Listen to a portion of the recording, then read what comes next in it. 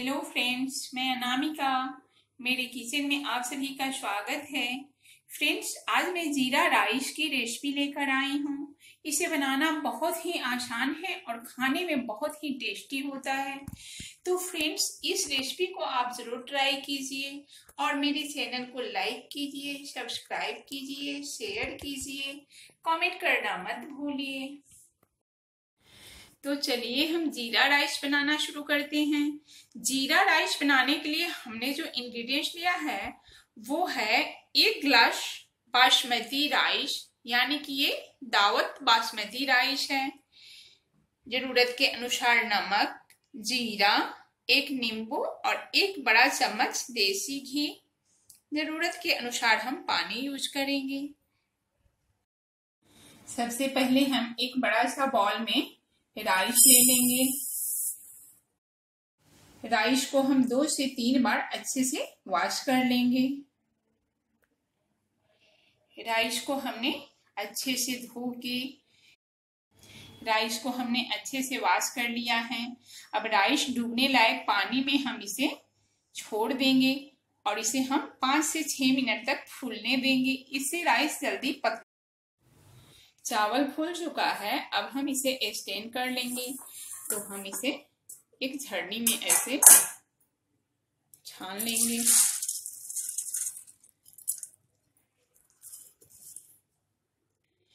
Rice को हमने stand कर लिया, अब हम गैस की तरफ़ चलेंगे।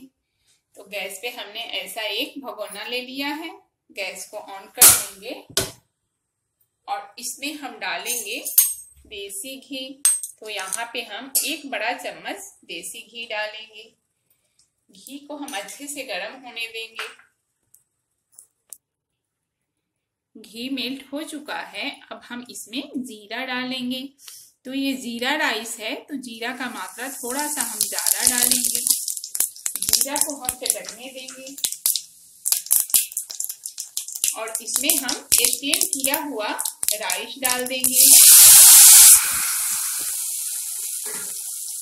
के साथ हम राइस को दो से तीन मिनट तक भून लेंगे। राइस पे घी की अच्छी सी कोटिंग हो जानी चाहिए। राइस को हमने घी के साथ अच्छे से भून लिया है। तो यहाँ पे हम जिस ग्लास से राइस लिया था, उसी ग्लास से दो ग्लास पानी डालेंगे, क्योंकि एक ग्लास चावल के लिए दो ग्लास पानी परफेक्ट होता है। दो गिलास हम पानी डालेंगे।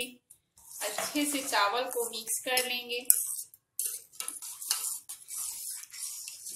अब हम गैस का फ्लेम तेज करके चावल को उबलने देंगे। पहले उबाल तेज फ्लेम पे आनी चाहिए। अब हम इसमें नींबू डालेंगे।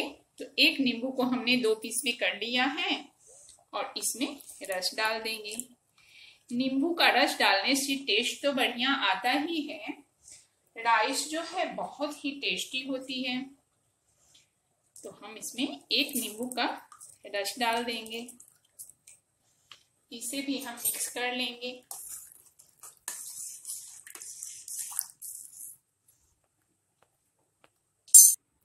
नींबू को हमने मिक्स कर लिया है। अब हम इसमें टेस्ट के अनुसार नमक डालेंगे। जीरा राइस बनाना बहुत ही आसान है और इसका टेस्ट बहुत ही बढ़िया लगता है। तो हम इसे दो से तीन मिनट तक तेज फ्लेम पे उबालेंगे। चावल को हमने तेज फ्लेम पे तीन से चार मिनट तक उबलने दिया है। अब हम फ्लेम स्लो कर लेंगे और एक ढक्कन से इसे कवर करके पाँच से सात मिनट और पका के हम चेक करेंगे। चलिए अब हम राइस को एक बार चेक कर लेते हैं। तो हम धीरे से ढक्कन को हटा लेंगे और एक चम्मच की मदद से हम चेक करेंगे। पानी अपना सूख चुका है। अब हम एक राइस को निकालेंगे और हथेली से ऐसे प्रेस करके चेक कर लेंगे। तो आप देख सकते हैं राइस जो है अच्छे से पक चुकी है। अब हम गैस के फ्लेम को ऑफ़ कर लेंगे और कवर करके एक से दो मिनट तक और छोड़ देंगे, फिर हम सर्व करेंगे।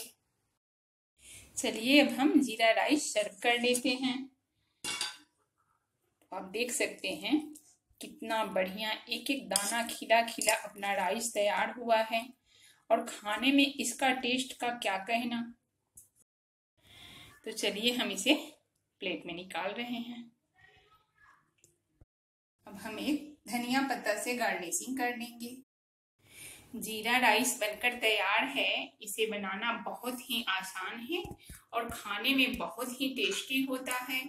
तो फ्रेंड्स इस रेसिपी को आप ज़रूर ट्राई कीजिएगा। अगर आज की मेरी ये राइस रेसिपी आपको अच्छी लगे तो मेरे चैनल को लाइक कीजिए सब्सक्राइब कीजिए शेयर कीजिए। और कमेंट करना मत भूलिए। धन्यवाद।